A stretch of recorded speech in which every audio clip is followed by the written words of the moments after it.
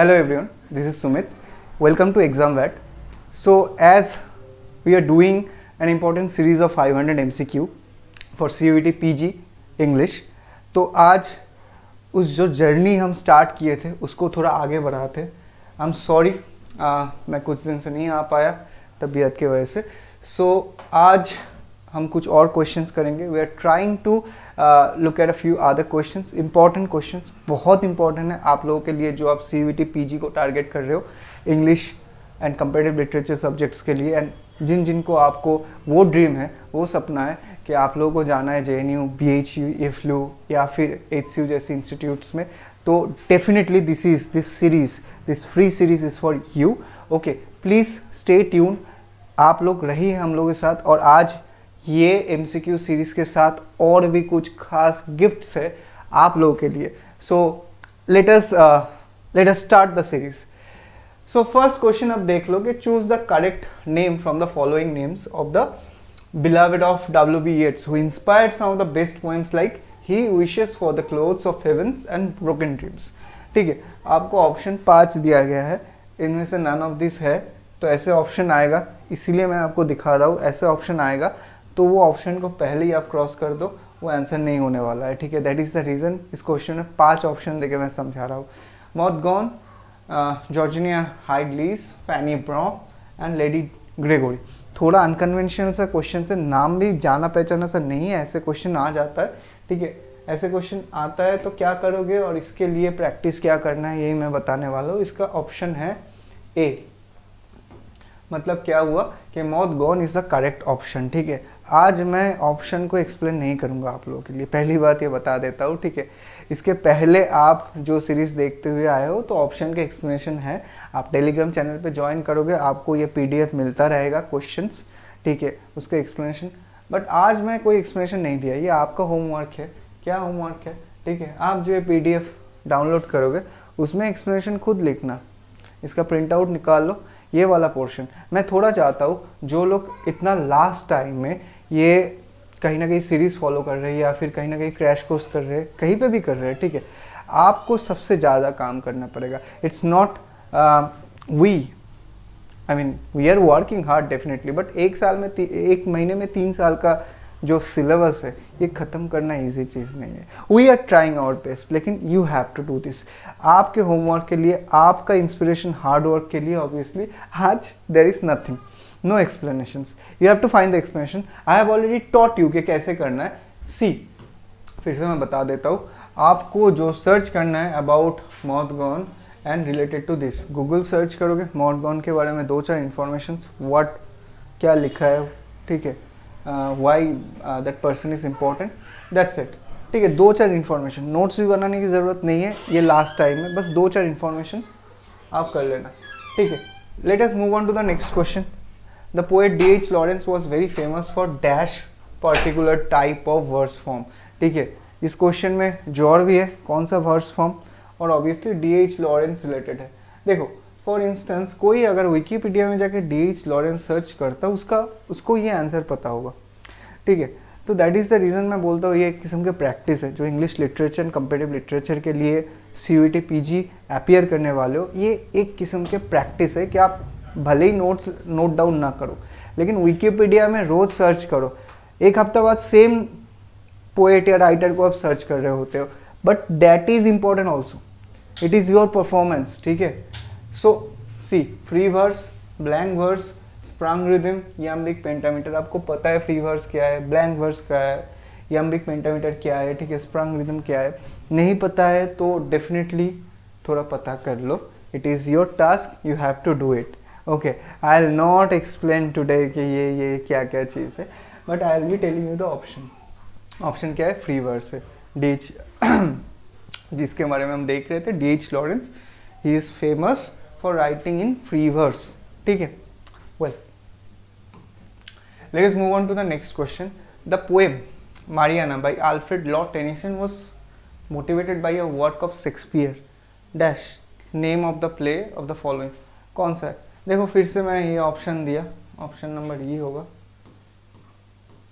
तो none of this नहीं होना चाहिए। कहा कि ऐसे अगर ऑप्शन देता है none of this type of तो ये option essentially would be a no option. Measures for measures Othello Tale and Romeo and Juliet. Mariana by Alfred इसके साथ कनेक्शन क्या है? ये क्वेश्चन कहीं ना कहीं जुड़ा हुआ है किस चीज़ से? रिटेलिंग रेफरेंसेस इन लिटरेचर ये सब सेक्शन अगर ठीक से करोगे, एक चीज़ मैं बता देता हूँ, जो लोग अब, आप लोग सी के लिए प्रिपेयर कर रहे हो, आप अभी फ़िलहाल कोई भी कंसेप्ट को डीपली मत समझने की कोशिश करो। You don't need to understand any concept deeply पहला एडवाइस ये ध्यान में रखो डीपली मत समझो। आपको एग्ज़ाम के जो क्वेश्चन है, उसके जो पैटर्न है, उसका अलग अलग जो कैटेगरीज है कि ये क्वेश्चन कहाँ से आ सकता है, वो क्वेश्चन कहाँ से आ सकता है। उसको दिमाग में रख के उसका कैटेगरी बनाना है और उसमें से आपको इंफॉर्मेशन लेके जाना है, उसमें से आपको कंसेप्ट लेके जाना है। It is the role of a course अगर आप एग्ज़ाम के लिए अपियर कर रहे हो your graduation will not help you that much.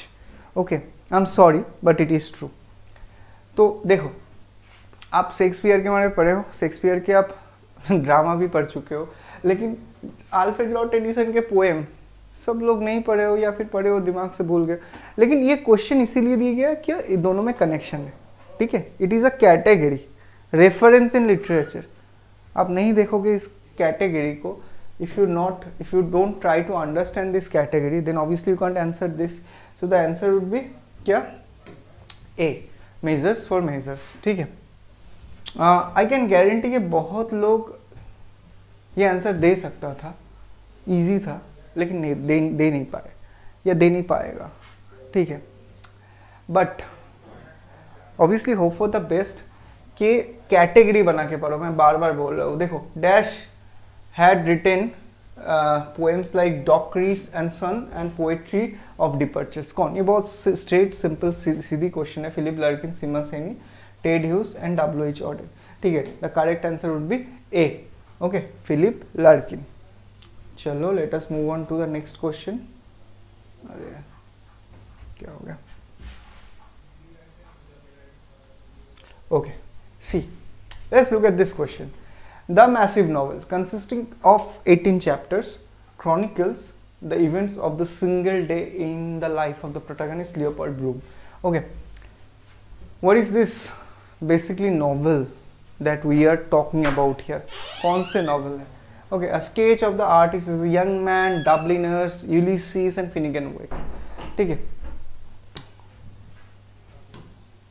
तो The correct answer is C. Ulysses. Ulysses is basically a novel based upon Iliad. ठीक है तो that is the reason it is large. It had that amount of chapters. Uh, now look at this question. Which two of the following fictional places? Which two of the following fictional places are the settings of novels by Joseph Conrad? ठीक है Conrad के novel है लेकिन novel से question ये आया है कि फिक्शनल प्लेस क्या है ठीक है ईस्टविक पैटूसन आरखन कोस्तागुआना ठीक है अब देखो यार, कोई इनके नॉवल पूरा पढ़ चुके हैं तो पढ़ चुके आंसर करेगा। आप, आपको अगर इस क्वेश्चन का आंसर करना है, ऐसे क्वेश्चन आ सकता है। तो आप कैसे करोगे? Will you read the entire syllabus of your bachelor's again and obviously read those novels bachelor's का सिलेबस सबका अलग अलग होता है। उसमें से भी उतना बेनिफिट्स नहीं हो सकता है। ठीक है, इनका ये नावल था, उसका दूसरा कुछ नॉवेल्स था। और सिलेबस में ऐसे कोई नॉवेल्स दिया नहीं गया है सी के, लेकिन ऐसे क्वेश्चन आ सकता है। क्यों आ सकता है? क्योंकि इसमें जो सेटिंग्स है, उसको क्या कहते हैं? कंपेरेटिव लिटरेचर में एक टर्म है टोपोस और टोपोई अगर आप सिंगुलर यूज़ करोगे तो टोपोई लिख सकते हो, या फिर आप लिख सकते हो टोपोस टोपोस सिर्फ़ जगह का नहीं रेस का भी यूज़ होता है, कोई रेस एक लिटरेचर में दिखाया गया है। पोस्ट का मेन मतलब ये होता है कि स्पेस सेंस ऑफ़ बिलोंगिंग को आइडेंटिफाई किया जाता है। रेस भी एक स्पेस ऑफ़ बिलोंगिंग होता है आइडेंटिटी जगह भी होता है because that gives you that sense of belonging sense of belonging को आइडेंटिफाई करना है सिंपल सा चीज़ है टोपो या टोपोज कहते हैं। ये एक टेक्निक है लिटरेचर को अंडरस्टैंड करने के लिए। Conrad is a very important writer who seemed to be a very Orientalist one who has been challenged by different theories like Edward Said तो आप लोग अगर ये इन्फॉर्मेशन पता ना हो तो ये इन्फॉर्मेशन मैं इसीलिए बोल रहा हूँ I am not trying to inferiorize you why I am saying this information because why this question can be asked क्यों पूछा जाएगा? आप बोलोगे, यार, ये क्या, कैसे याद रखोगे? एग्ज़ाम हॉल में सबका क्या होता है? भाई, ये क्वेश्चन कहाँ से पूछ लिया क्वेश्चन क्यों पूछा है? ये आंसर अभी आपके पास होगा तो obviously it will help you ठीक है? तो definitely this this is the reason के पूछा गया है, ठीक है? So the correct option as you can see is D इसका मतलब ये है कि B and D only that means Patusan and Costaguana these are the fictional places अब आपको थोड़ा ये सर्च करके बोलना है कोस्ता गुआना कौन दो जगह के नाम लेके बना है? The theory of sadharanikaran in poetry and theater was first formulated by very interesting question important one it is coming from the question is asked from indian aesthetics indian poetry एक section है ठीक है तो इससे पूछा गया है ये बहुत इंपॉर्टेंट था एक टाइम जे के क्वेश्चंस में पूछा जाता था जब जे ई होता था this time also it can be repeated और हम ऐसे सोचेंगे भी नहीं लेकिन क्वेश्चन आ जाएगा इंडियन पोएटिक्स से एस्थेटिक्स से तो इसका करेक्ट आंसर क्या है? सिंपल है। करेक्ट आंसर ए भट्टा नाया का। आपको अगर इंफॉर्मेशन पता है, आपको मिल गया उधर फोर मार्क्स अरे, एक second well next another question from Indian poetics aesthetics obviously it is a question JNU में आया था। Panini's Ashtadhyayi is a text on grammar and grammatical philosophy. तो this is basically a question on linguistics आपको समझ में आ रहा है। लिंग्विस्टिक्स क्या है? Indian ancient linguistics and which of the following is a commentary on it Patanjali का अष्टाध्यायी इज़ अ टेक्स्ट उसका कमेंट्री कौन सा है ठीक है पतंजलि महावश्य वैशस वश्य अभिनव गुप्त लोचना लोचना मीन्स आलोचना जिसको हम कहते हैं। और दिगंगस ये थोड़ा टेरा मेरा है प्रोनाउंसिएशन प्रमांशा मतलब प्रमाणा प्रमांशा मुचा तो इसका करेक्ट आंसर है ए मतलब है पतंजलि महाभाष्य। कॉमन सेंस लगाया होता तब भी हो जाता क्योंकि पतंजलि का पानिनी का ऑब्वियसली जो भी क्रिटिसिज्म है, आप देखोगे कि उस टाइम पीरियड में पतंजलि से हुआ। अरे यार। एंड पतंजलि का महाभाष्य इज़ वेरी इंपॉर्टेंट कि वो कहीं ना कहीं लिंग्विस्टिक क्रिटिसिज्म है। पतंजलि सिर्फ़ योगा सूत्र के लिए फ़ेमस नहीं है। जो हम बस पतंजलि मतलब एक ऐड आ जाता है दिमाग में, वो नहीं है। एक सेकेंड ना give me a moment okay next question who does Samad Iqbal assert as his heroic forefather in Zadie Smith's White Teeth okay so Samad Iqbal assert as his heroic समझ इकबाल किसको बोला था? मतलब किसको रेफर किया था अपने हीरोइक फोर फादर के तौर पे?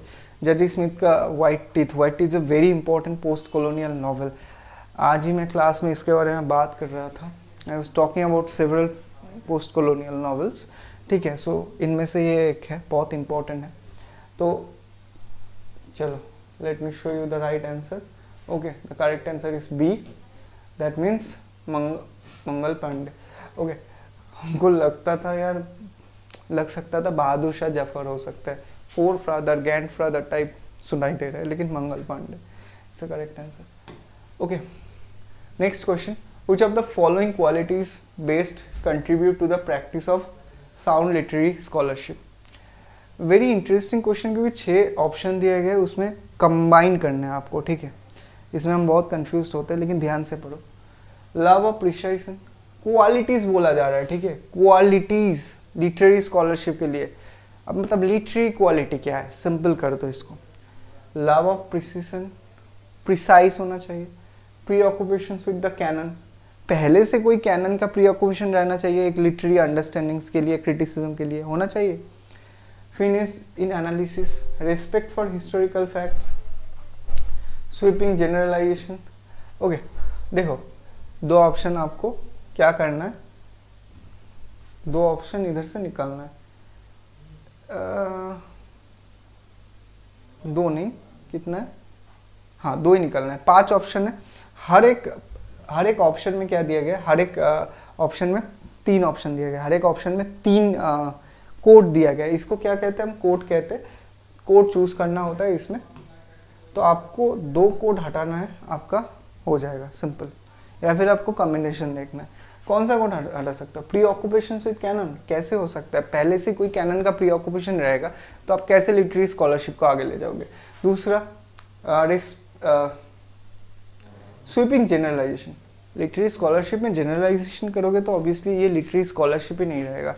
How do you understand the identity how do you understand the social characteristics generalize कर दोगे, नहीं। तो बाकी क्या बचा? ए सी और डी ए सी और डी हमें लगता है यही राइट आंसर है डी देख लेते, या। D is the correct answer A C and D ठीक है? Which of the following stories about a pandemic very interesting ठीक है? पोस्ट पैंडेमिक के दौरान तो ये क्वेश्चन और इंटरेस्टिंग हो जाता है। Leo Tolstoy the Death of Ivan Ilyich Katherine and Porter Pale Horse Pale Rider the Ballad of the Sad Cafe Henry James का the Turn of the Screw देख लेते करेक्ट आंसर क्या है? B okay अगर B correct answer है Katherine Anne Porter Pale House Pale Rider right इसके बारे में तो आप वीडियो में सर्च करोगे दैट इज़ योर टास्क और क्या करोगे? Find the list of pandemic literature okay खुद से जो आप पढ़ रहे हो ना आपको थोड़ा मेहनत करना पड़ेगा। ये आप सर्च करो पैंडेमिक लिटरेचर कौन कौन सा है ठीक है? उस, उसमें से कुछ इंपॉर्टेंट लिटरेचर के बारे में जानो आप थोड़ा। ट्राई एंड अंडरस्टैंड चलो next question which of the following novels is inspired by Mahabharata again a question of rewriting a question of inspiration in literature Chitra Banerjee Divakaruni का एक नॉवल है Palace of Illusion Neel Mukherjee A Life Apart Vikram Seth An Equal Music Amitav Ghosh Flood of Fire okay correct answer क्या है? A मतलब क्या है? चित्रा बनर्जी दिव्यकर्णी का the Palace of Illusion that is the correct answer ठीक है? आपको search करना है चारों नॉवल के बारे में। तब जाके यू विल बी बेनिफिटेड ठीक है? नॉट अ सिंगल ऑप्शन ये आपका काम है। डेफिनेटली आप करोगे। I believe in you who among the following dominate the history of Irish cultural nationalism तो डेफिनेटली इनमें से कुछ है writers who are part of that Oscar Wilde James Joyce W B Yeats and G B Shaw George Bernard Shaw ठीक है, देखो, पहला option क्या है? ए एंड डी दिया गया है। Second B and C third C and D fourth B and D अब हमको भी क्या करना है? दो तो या चूज़ करना है, या तो दो हटाना है। ठीक है? अब देखो जेम्स जॉयस तो डेफिनेटली था डब्ल्यू बी ईट्स भी था जॉर्ज बर्नर शॉ नहीं ऑस्कर वाइल्ड नहीं। Simple the correct answer would be B देख लेते yes it is B right ऐसे करना है कॉन्फिडेंटली करना है स्मार्टली करना है एग्ज़ाम हॉल में, जिस क्वेश्चन में टाइम ज़्यादा नहीं लेना चाहिए, नहीं लेना है, जिसमें टाइम ज़्यादा लेना चाहिए तो लेना पड़ेगा। क्या कर सकते हैं? As the following novels of R K Narayan in the chronological order ये क्वेश्चन इतना डिफ़िकल्ट नहीं आ सकता है, ठीक है? तब भी देख लेते the Vendor of Sweets English Teacher the Guide and Waiting for Mahatma ठीक है? The right answer is C मुझे लगता है, क्यों लगता है? बताते हैं सी ओके okay. देखो बी डी सी ए अगर ऐसे आ जाते हो तो गेस कैसे करोगे? ठीक है गेस वर्क भी तो इम्पोर्टेंट होता है। हाँ देखो Waiting for Mahatma English Teacher के बाद लिखा गया था, ये मुझे पता है। तो बी के बाद डी आएगा। अब I know the information that is the reason I could choose तो आपको थोड़ा इंडियन इंग्लिश लिटरेचर के बारे में इंफॉर्मेशन रखना पड़ेगा, लेकिन इतना डिफ़िकल्ट नहीं आएगा, शायद। बट फिर भी, आ तो सकता है, कुछ भी हो सकता है। Given below are two statements ये ट्रांसलेशन स्टडीज़ है। It is from translation studies conceptual question है। थोड़ा ध्यान से देखो। The status of translation has remain the same over centuries translation का स्टेटस ओवर द सेंचुरीज में सेम रहा है। चलो क्वेश्चन मार्क ठीक है। Next statement some texts are readily translatable than others okay so so, कुछ टेक्स्ट देख के आप बोल सकते हो ये ट्रांसलेबल है रेडिली ट्रांसलेबल है। बहुत आसानी से इजीली ट्रांसलेट किया जा सकता है देन अदर्स ठीक है? So the correct answer is D D में क्या रहता है? ठीक है एक सेकेंड डी में क्या है? Statement one is incorrect two is correct उनको देख के भी वही लगा कि ये क्वेश्चन भाई ये जो स्टेटमेंट है गलत हो सकता है क्योंकि स्टेटस ऑफ़ ट्रांसलेशन कैसे सेम रह जाएगा? लिटरेचर इवॉल्व किया है ट्रांसलेशन भी इवॉल्व करेगा। लेकिन स्टेटमेंट टू इज़ करेक्ट क्योंकि कहीं ना कहीं कुछ कुछ टेक्स्ट सब्जेक्टिवली अगर देखा जाए ट्रांसलेट करना ईजियर होता है। रेडिली ट्रांसलेबल जिसको हम कह सकते हैं। क्वेश्चन नंबर 76 के who among the following observed no Hindu has received an English education ever remains sincerely attach to his religion Lord Bentinck Wellesley Macaulay Lord Curzon अगर आप देखोगे एक पोर्शन इंडियन इंग्लिश लिटरेचर उसका beginning pedagogy वाला section definitely कोई भी book में तो ये आपको पता होगा answer okay let me show you the answer the correct answer is C C का मतलब ये हो गया लॉर्ड मैकोली मैकोली ले आया था क्या? मिनट्स मैकोली मिनट्स जिसको कहते हैं कि इंग्लिश एडुकेशन को प्रमोट करो भाई. मतलब was very occidentalist the Decay of Lying by Oscar Wilde Oscar Wilde के डिके ऑफ़ लाइंग क्या है? Short story on the importance of lies in love dialogue on art and nature poem on wells in in for homosexuality और treatise on classic art and life बहुत simple सा question है। Oscar Wilde के बारे में पूछा गया। तो it is basically dialogue on art and nature art and nature के बीच में जो डायलॉग है definitely Oscar Wilde has extensively talked about this in the decay of lying चलो लेट अस मूव अच्छा ये कंप्रेंशन है ठीक है? ये नेक्स्ट दिन देखेंगे कंप्रेंशन के बारे में। मैं कुछ और भी कंप्रेंशन कराऊँगा। बट uh, मैं जो सरप्राइज़ के बात कर रहा था आज ठीक है? It is a very short session it is session that will surprise you. Why? थोड़ा देख लो, थोड़ा टाइम लो। आप जो लोग C U T P G English and comparative literature के लिए प्रिपेयर कर रहे हो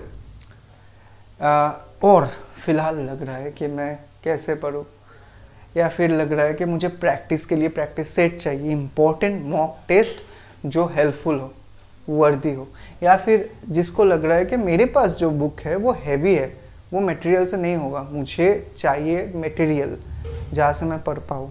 और वो मटेरियल कहीं ना कहीं मुझे समझ में आना चाहिए तो मैं थोड़ा I should I should have some lectures that will help me understand the material तो ये सरप्राइज़ आपके लिए है।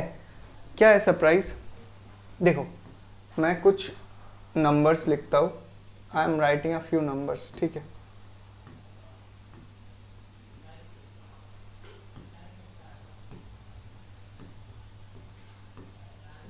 Okay, so 599 399 this is for you, presented by examnet खास आप लोगों के लिए लाए कि कोई ना छूटे, सबके पास बराबर का अपॉर्चुनिटी रहे so they can do well in the exams और उसके बाद भी कोई वो अपॉर्चुनिटी ना लेता है तो ऑब्वियसली दूसरा कोई अपॉर्चुनिटी लेके अच्छा करके चला जाएगा। क्यों हम बोल रहे हैं? क्योंकि 599 और 399 फाइव इंपॉर्टेंट मॉक टेस्ट आपको मिलने वाला है। फाइव मॉक्स ठीक है 599 में। एंड थ्री नाइन्टी नाइन में am sorry and five ninety nine में आपको मिलेगा टेन मॉक्स ठीक है? Before the exams you can enrol for this mocks okay series wise आप, आपको मॉक्स मिलेगा। आप खुद जान पाओगे आपका लेवल ऑफ़ प्रिपरेशन क्या है ठीक है?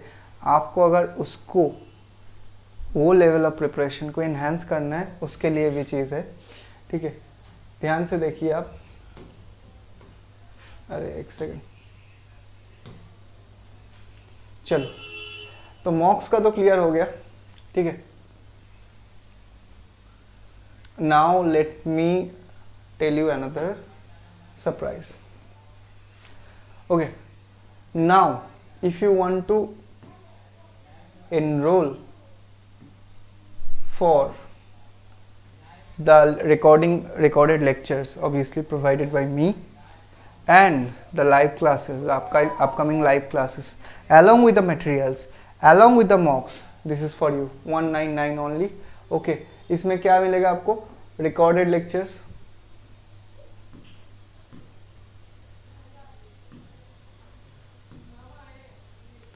रिकॉर्डेड मिलेगा. लाइव जो अपकमिंग है. ठीक है? मॉक्स मिल जाएगा. एंड मटेरियल्स मिल जाएगा।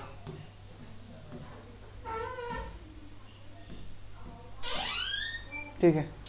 So this is specifically for the exam exam में टाइम बचा नहीं है। So if you really need to use the time okay and obviously the worth of it you can understand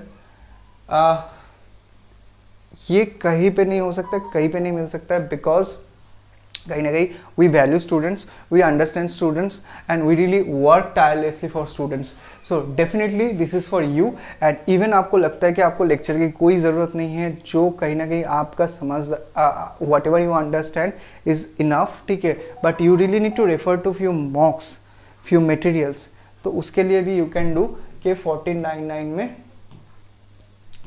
you can get the mocks and the materials. Okay.